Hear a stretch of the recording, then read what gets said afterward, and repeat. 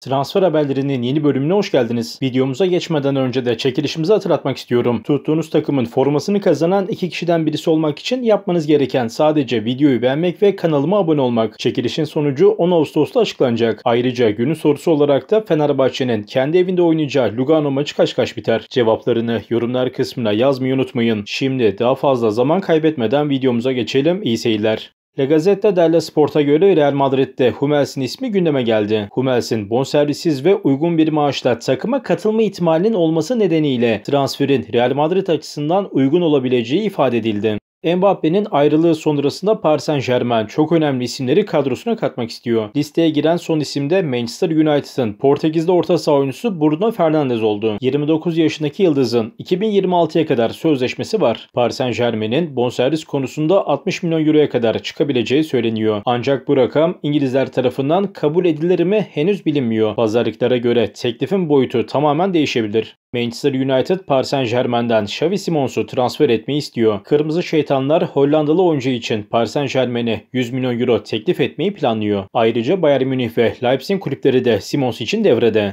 James Rodriguez'in menajeri Jorge Mendes yıldız oyuncuya yıllık 4 milyon euro verecek bir kulüp arıyor. İtalya'dan Lazio, İngiltere'den de Aston Villa, Nottingham Forest ve Wolverhampton kulüplerine önerildi. Copa Amerika'da Kolombiya'yı finale taşıyan James 1 gol 6 asiste oynamıştı.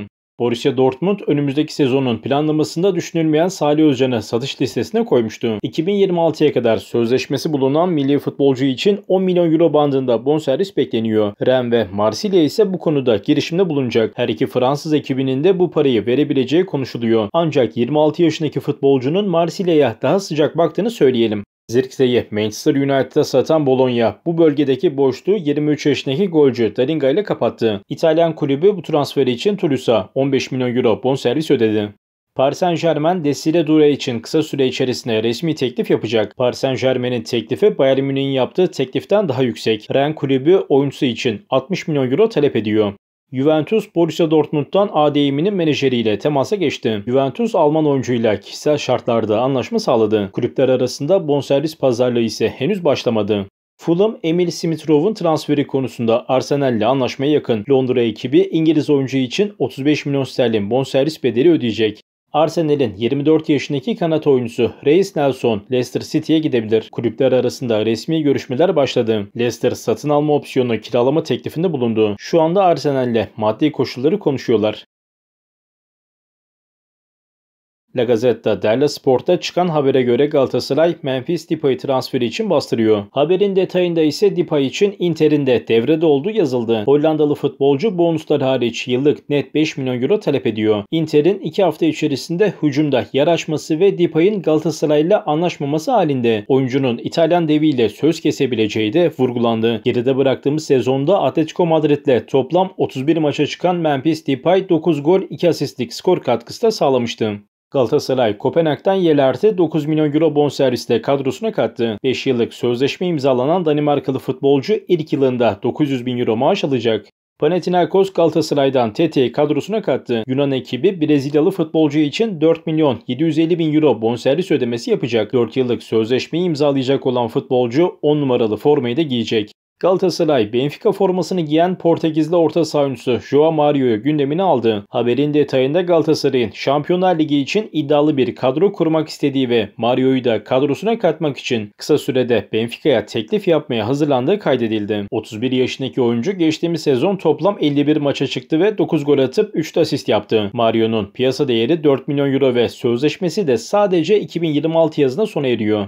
Rus basınında çıkan iddiaya göre Galatasaray Wendel transferinde işi zorlaştırdığı için başka isimlere yöneldi. Sarı Kırmızılı ekip Dinamo Kiev formasını giyen Şaperenko için ilk teması kurdu ve oyuncu için bilgi istedi. Okan Buruk'un çok istediği Wendel için kısa bir süre daha beklenecek. Brezilyalı yıldızın transferi gerçekleşmezse Şaperenko için gaza basılacak. Fakat 25 yaşındaki Ukraynalı oyuncunun transferi de kolay görünmüyor. Şampiyonlar Ligi elemelerinde boy gösterecek olan Dinamo Kiev bu turları başarıyla geçerse yıldız oyuncusunu da bırakmak istemiyor. Fakat Kiev'in Şampiyonlar Ligi'ne katılamaması halinde ayrılmasına da izin verme durumları söz konusu.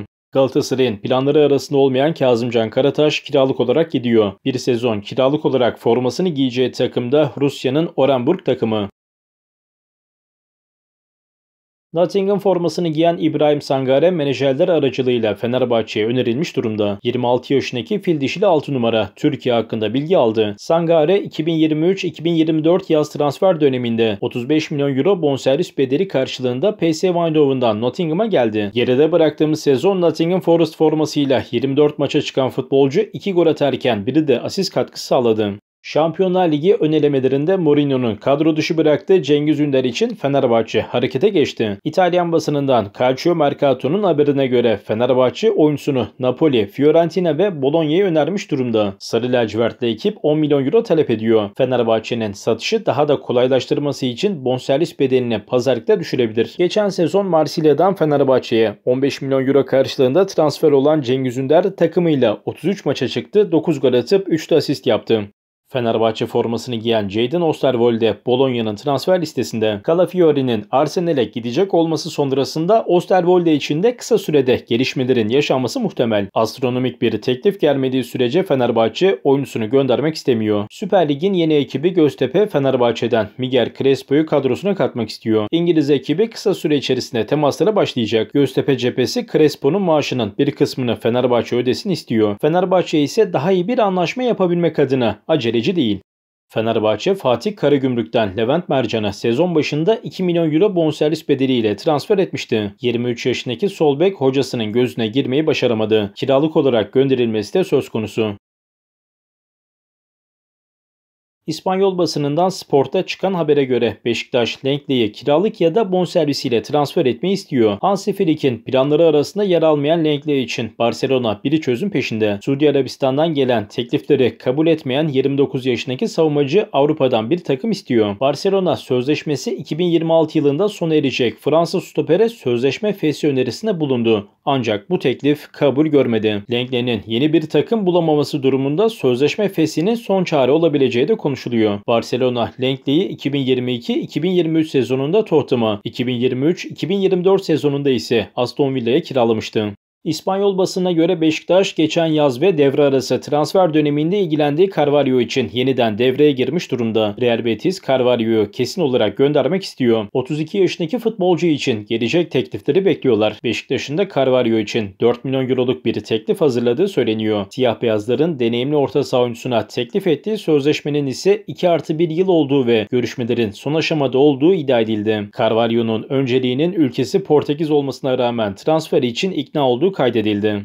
Beşiktaş Çaykur Rizespor'dan Emirhan Topçu'yu kadrosuna katmak istiyor. Fakat sadece temas olmuş henüz pazarlık noktasına gelinmemiş. Hatta çıkan iddiaya göre Emirhan'ın transferinde Las Palmas kulübü önemli aşama kaydetmiş.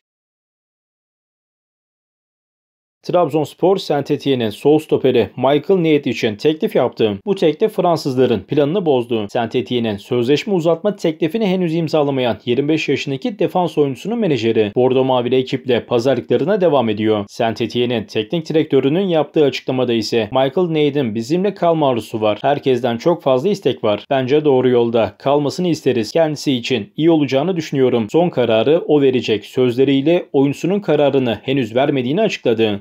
Trabzonspor'da kadroda düşünülmeyen Maxi Gomez'e İspanya'dan talip çıktı. İspanya 2. Lig takımlarından Castellón Gomez'le ilgileniyor. Kadroda düşünülmeyen Uruguaylı futbolcunun kısa süre içerisinde gitmesi de bekleniyor. Böylece videomuzun sonuna geldik. Videomuzu buraya kadar izleyip beğendiyseniz like atmayı ve kanala abone olmayı unutmayın lütfen. Başka bir videoda görüşmek üzere. Hoşçakalın.